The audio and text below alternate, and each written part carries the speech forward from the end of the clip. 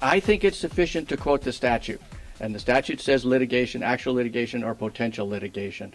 Uh, there, and if you want to give more information than that, that's I think, a policy decision for the county commissioners with the advice of the prosecuting attorney.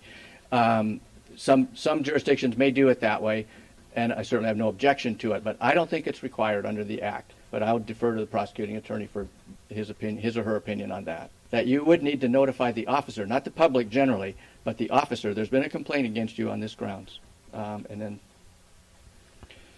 Now, there's a couple things I think at the end here. Um, there's a couple types of proceedings that are exempted entirely from the Open Public Meetings Act. The biggest one probably is collective bargaining. When you're doing issues relating to collective bargaining, strategy for collective bargaining, union negotiations, or the discussions themselves, um, those can be done. Well, actually, it's not even executive session. It's exempted out of the Open Public Meetings Act. Um, the dis- any final approval of the contract will be done at an open meeting, but all the bargaining negotiations and discussions can be done outside an open meeting process. And if you think about it, I think this makes sense because it is a negotiation. There's going to be two sides to this. If you have to disclose your position and all your discussion publicly and they don't, it puts the public officials at a disadvantage. So I think that's just an attempt to make a level playing field uh, for those kind of decisions. And the other one would be quasi judicial proceedings, where you have a quasi judicial issue that's been presented to you. The decision, again, has to be made in open meeting, um, but the discussion about it could be done in, in executive session. And those, again, are exempted out of the Open Public Meetings Act. I think under the Open Public Meetings Act, you could, the discussion itself could be done in an executive session. Then you come out and have to do a vote in, in the open meeting but the discussion on a quasi-judicial matter uh, could be done in, ex- in executive session. So that's right. That would be an example of where you could have done that. Now, lastly, if you do violate this, um, the main sanction is that anything that's done at an improper meeting is void. It's like it didn't happen. Any action that uh, ordinance, resolution, or order that is done at an improper meeting is void. Um, it will have to be redone again at a public meeting with, pub, with, with the public present. Um, potentially, there is a sanction that says a member of a governing body who knowingly participates in an illegal meeting could be subject to a $100 fine. And if a suit is brought against a, a, a public agency um, and the citizen prevails, or whoever brings the suit prevails, then the judge may award costs and attorney's fees to the citizens who prevails for enforcing the Open Public Meetings Act. So that's my presentation. If there's any other questions, I'd be glad to. Yeah, under the Open Meetings Act, that's right. There isn't any particular requirement for notice on regular meetings. The meeting itself has been noticed. The public it does know that you'll be meeting at a certain time and place every week or, or whatever it is. And then the specifics of how you let them know about the agenda really is a decision, policy decision, not a legal decision under the Open Meetings Act. It's, it's at the discretion of the governing body whether to have a public comment period. There could be some meetings where you would do that and some meetings that you wouldn't do that. That depends on your own rules of procedure. And then the same point about if you do allow public comment, the, it is up to you how long you want to allow individual citizens to speak. Um, and, and that depends somewhat on, again, your either formal rules of procedure or what you decide as a body to do and the chair decides. Uh, though, again, those are issues that really aren't covered. Those are just open by the, op- they're not covered by the Open Meetings Act. So that is discretionary. And that's what this was. This is not an attempt to say that you may not want to do, go beyond this or, right, open this up for comment. Uh, that's, that's certainly uh, beneficial in a lot of cases. But this is what the Act requires, right? And it doesn't address those issues. So that is, that is, a, that is within the discretion of the governing body.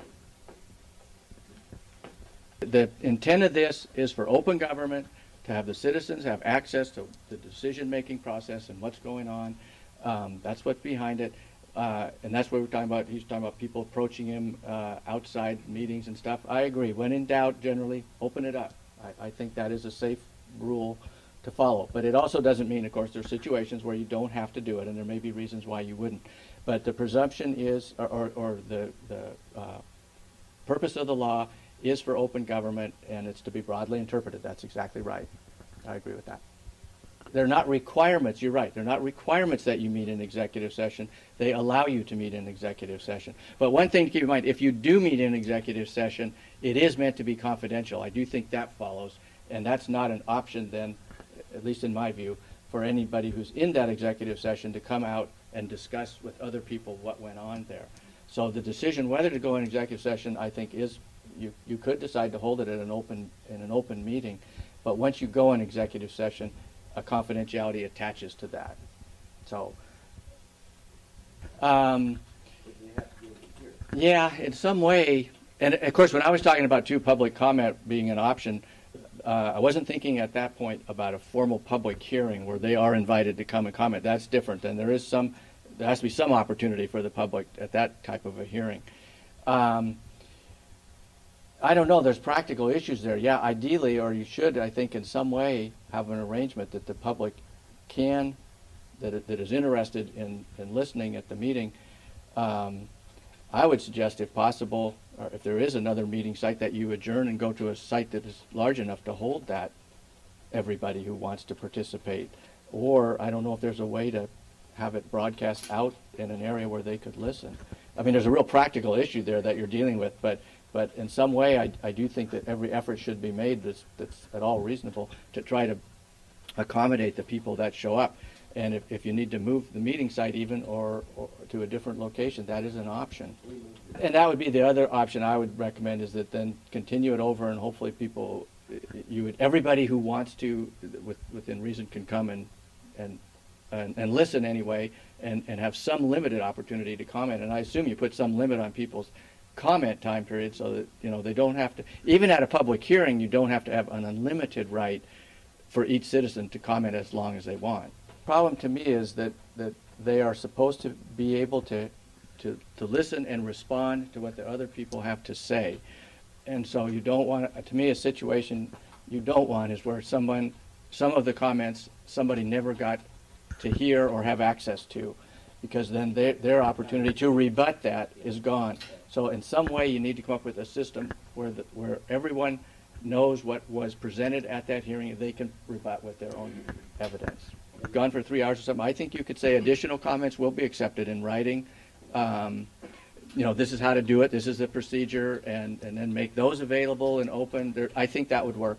I think you could do that. And I, and I again, always on these, I'm deferring to your prosecuting attorney for the specific advice, but that would be the way I, I think you could handle that. So everybody who wanted input on the record officially before the commissioners to, to be heard and, and have their point of view uh, either either verbally presented or in writing would, would do so. Well, I, I, I think every effort that's within possible reason should be made that people have the right. Yeah. Yeah. Well, that's right. You can't have a disruptive meeting, but you do have to have, I, I think, in some way, an opportunity to get people who want to be at the meeting in attendance. I do think that what has to happen is, is there has to be a good faith on the part of the governing body that the people, which, well, I don't get argue that, that I think there is from the comments I've heard, that the people are allowed to attend, and most of the time, I think this is probably never an issue. The rare occasion that it does come up where you've got a situation, you've got an overflow crowd, it sounds like they're trying to accommodate that. If they can move it, they move it.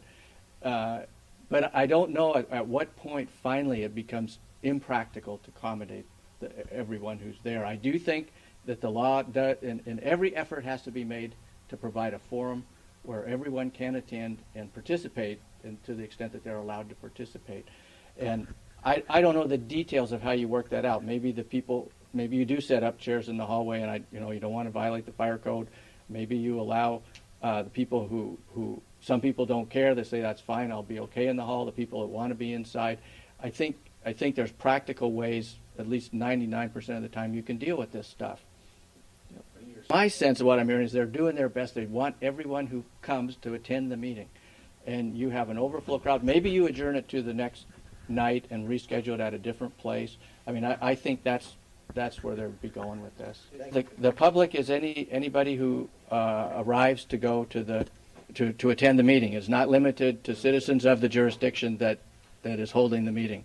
So, so potent, this is more of an issue actually in cities than counties probably. Uh, city councils sometimes I think will ask me, well, they don't live in the city limits. Well, that's that's not an issue.